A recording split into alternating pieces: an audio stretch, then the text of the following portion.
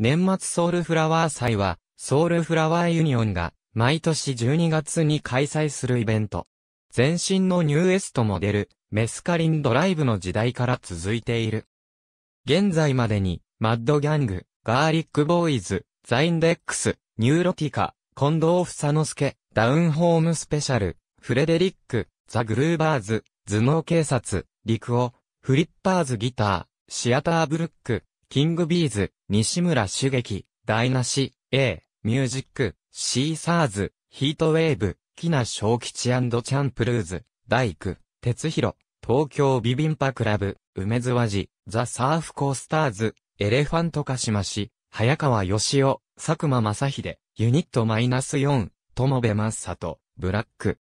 ボトムブラスバンド、ホフディラン、リ博士、フラワーカンパニーズ、バルボラ、少年ナイフ、マグースイム、新大久保ジェントルメン、ライブ、ラフ、ホロホロ町、ドーナルラニー、アンディアーバイン、オーバーグラウンド、アコースティックアンダーグラウンド、ガガガ SP、浅草ジンタなどが出演している。近年は、ソウルフラワーユニオンのワンマンであることが多く、代表曲中心のセットリストになる。ありがとうございます。